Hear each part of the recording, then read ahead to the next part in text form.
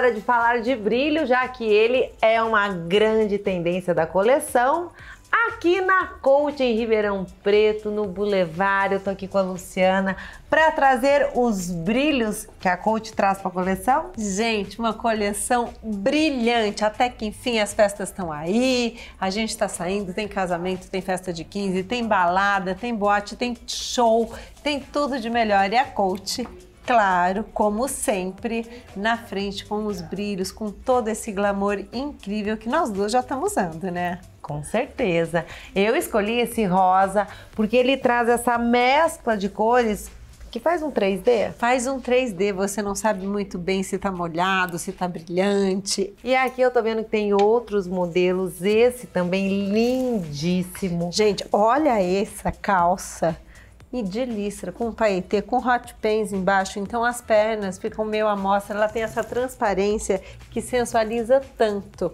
A gente associa ela com esse top, que fica incrível.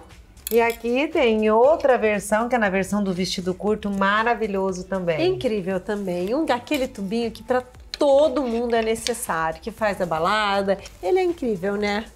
Ai, eu não posso deixar de mostrar para vocês esse outro modelo lindíssimo. Adoro, acho lindo, acho ousado. A Coach traz toda essa sensualidade, né? maravilhoso. Quer dizer, as festas vindo com tudo, voltando, hora de comemorar, hora de ter um ano aí cheio de coisas boas, ano de brilhar. Hora de brilhar. Olha esse paetê, que ele é todo feito de escamas. Que incrível! Decotado, a coisa mais perfeita da vida. Bom, a gente tá vendo que tem muitos modelos. Aqui, por exemplo, a gente já tem um outro, que é um curto, com preto, fundo preto e o paetê em prata.